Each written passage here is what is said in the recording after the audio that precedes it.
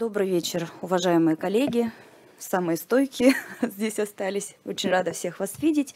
Разрешите представить вашему вниманию доклад на тему диагностики внегонадных герминогенных опухолей. Немного терминологии. Что такое герминогенные опухоли? Герминогенные опухоли – это гетерогенная группа новообразований, которые развиваются из зародышевых клеток и участвуют э, в формировании половых желез и процессах гематогенеза. По этиологии, а, что влияет, собственно говоря, на развитие герминогенных опухолей? Это наследственность, факторы, приводящие к атрофии яичка, крипторхизм, либо химические факторы, идиопатическая атрофия яичка, инфекционные заболевания, также гиперэстрогения. Согласно гистологической классификации 2016 года, э, герминогенные опухоли, все, собственно, не только внегонадные, но и герминогенные опухоли яичка, делятся на неинвазивную герминогенную опухоль, герминогенные опухоли, произошедшие из внутрипротоковой герминогенной неоплазии, и опухоли, не имеющие отношения к внутрипротоковой герминогенной неоплазии. По клинической классификации они разделяются на два типа. Семеномы, то есть это чистая семенома, и несеминомы. Также опухоли, содержащие повышение альфа-фетопротеина, тоже относятся к несеминомным. Когда стоит заподозрить герминогенную опухоль? На самом деле очень сложный вопрос, если говорить о внегонадных опухолях. Если обратиться, собственно, и вспомнить предыдущий доклад, то первичные жалобы – это уплотнение в области яичка, боли в мошонке. Каким-то образом все равно проще будет э, понять, что это, наверное, да, вот, э, в пользу герминогенного процесса ситуация разворачивается. Здесь совершенно по-другому. Абсолютно общие жалобы на слабость, снижение аппетита, снижение веса, увеличение периферических лимфатических узлов.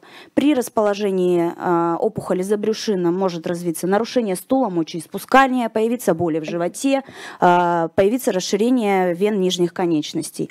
Если говорить о центральной нервной системе и наличии опухоли в центральной нервной системе, то тогда это уже будет неврологическая симптоматика в виде головных болей, развитие судорог, нарушение зрения э, и расстройство движения глазных яблок. Какие локализации по внегонадным герминогенным опухолям существуют на сегодняшний день? Это опухоль центральной нервной системы, первичные герминогенные опухоли, а, забрюшинного пространства и переднего средостения. Из всего пула герминогенных опухолей вот эти три локализации составляют менее 10%. Насколько редкие случаи для, а, собственно говоря, да, для лечения. А, начнем с первичных герминогенных опухолей центральной нервной системы составляют всего лишь менее 1% всех первичных опухолей центральной э, нервной системы. Чаще всего встречается в достаточно юном возрасте, средняя медиана возраста э, это 17 лет, не старше. И также преобладает у лиц мужского пола в соотношении мужчин к женщинам 7 к 1.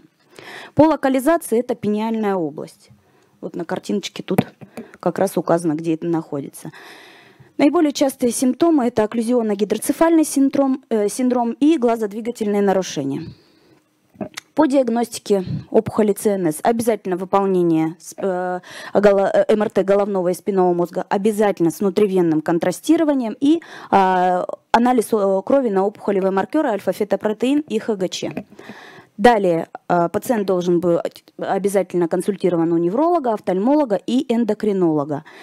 Для верификации процесса, да, рекомендована биопсия, но в случае, если пациент клинически сохранен, он не тяжелый и нет значимого повышения обоих маркеров.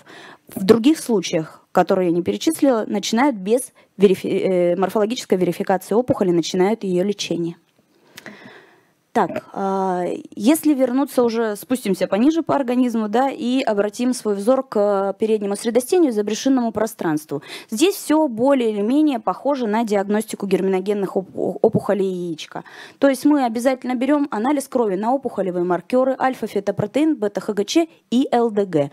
Также предпочтительно выполнение а, компьютерной томографии органов грудной клетки, брюшной полости и малого таза, таза также с внутривенным контрастированием.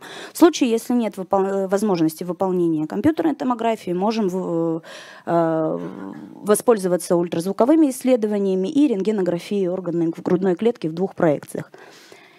Если опять же вспомним доклад Олега Вячеславовича о герминогенных опухолях яичка, Там выполнение МРТ головного мозга по строгим показаниям при завышенном альфа-бета-ХГЧ э, и наличии неврологической симптоматики. При э, наличии опухоли в забрюшинном пространстве либо в переднем средостении выполнение МРТ головного мозга обязательно. Биопсия опухоли также желательно, но в случае, если есть повышение альфа-фетопротеина и бета-ХГЧ в значимых размерах и э, тяжелое состояние пациента, это позволяет нам начинать лечение, а именно химиотерапию, без морфологической верификации. ПЭТ-КТ с целью первичного стадирования не рекомендуется. Все герминогенные опухоли мы разделяем по прогностическим факторам на группы прогноза. Э, данная таблица, собственно, да, показывает, каким образом это происходит. Не семенома и семенома разделяем мы на три прогноза. Благоприятный прогноз, промежуточный и неблагоприятный. Данная таблица есть в общем доступе на, в клинических рекомендациях э, на сайте Росонковеб. По характеристике герминогенные опухоли отличаются высокой чувствительностью к химиотерапии, частота полной регрессии достигает до 85%, низкая частота мутаций и сохраняются в опухоли активные механизмы апоптоза, что а, является, ну, наверное, выделяет даже из всех солидных опухолей именно герминогенные опухоли. Возвращаемся к тому же вопросу о том, что пациенты данной группы в основном являются молодыми, и э, никто не знает, как повернется их жизнь. В большинстве своем они еще не имеют детей, поэтому обязательно прошу вас настоятельно беседовать да, перед тем, как начинать химиотерапию, либо какое-либо лечение по герминогенной опухоли, говорить о том, чтобы была выполнена криоконсервация спермы, либо сохранение тканей яичников. Да, этот вопрос достаточно сложный, но если говорить о том, что лечение проводится в основном в специализированных центрах на центральных базах, здесь, по крайней мере, где-то есть эта возможность, чтобы выполнить криоконсервацию спермы и дать э, этому пациенту шанс на продолжение себя и создание семьи. Разрешите вам представить э, клинический случай успешного лечения внегонадной герминогенной несеменомной опухоли – Лечили мы его на отделении химиотерапии и инновационных технологий. Начнем с анамнеза. Пациенту 42 года. Он обратился в поликлинику по месту жительства у себя в районе с жалобами на кашель, повышение температуры до фибрильных цифр. Не такие уж и специфические симптомы. Выполнена флюорография органов грудной клетки и выполнен, э, выявлено расширение средостения. 3 апреля выполнена видеоторакоскопия справа и биопсия опухоли средостения. Гистологически выявлена внегонадная герминогенная несеменомная опухоль, 100% представлена опухолью желудочного мешка. Индекс пролиферации составил 100%. До лечения анализ крови на биологические маркеры был выполнен, и э, ХГЧ был в пределах нормы, ЛДГ 525 и альфа-фетопротеин практически 9000. Это еще не такие страшные цифры, но при всем при этом мы э, быстренько начинаем лечить пациента. С таким диагнозом внегонадная герминогенная несеменомная опухоль средостения ПТХ, НХ, МХ, повышение маркеров в рамках С2, видеоторакоскопия справа, биопсия опухоли, группа неблагоприятного прогноза. Все внегонадные герминогенные опухоли автоматически э, не имеют э, благоприятного прогноза, либо промежуточный, либо э, неблагоприятный. Суммарно проведено 4 цикла первой линии химиотерапии по схеме БЭП, которая является стандартным лечением всех герминогенных опухолей, кроме центральной нервной системы. Там используется химиотерапия по схеме ЕП. И э, на данном слайде представлено яркое э, снижение альфа-фетопротеина и ЛДГ. ХГЧ в это время находился все время в норме. То есть от мая до начала лечения 9 тысяч, перед вторым циклом, перед третьим циклом, перед четвертым и э, после четвертого цикла э, снижение маркеров. До начала терапии опухоль средостения была практически 10 на 12 э, сантиметров слева представлена, и справа мы добились после четырех циклов частичного регресса данной опухоли. Так, э, в августе 2017 года выполнили э, торакотомию справа и удаление образования переднего средостения. По гистологическому заключению мы получили полный некроз, и опухолевых клеток не было обнаружено.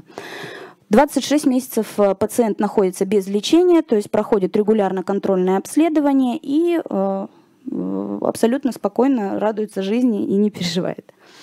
А, самое главное, что хотела сказать. Значит, обязательно про принципам ведения герминогенных опухолей. При возможности это верификация опухолевого процесса, либо гистологически, что если это возможно сделать, да. Если это не получается, то мы обязательно обращаем внимание на а, бета-ХГЧ, ЛДГ и альфа-фетопротеин, и после этого тут же начинаем химиотерапию.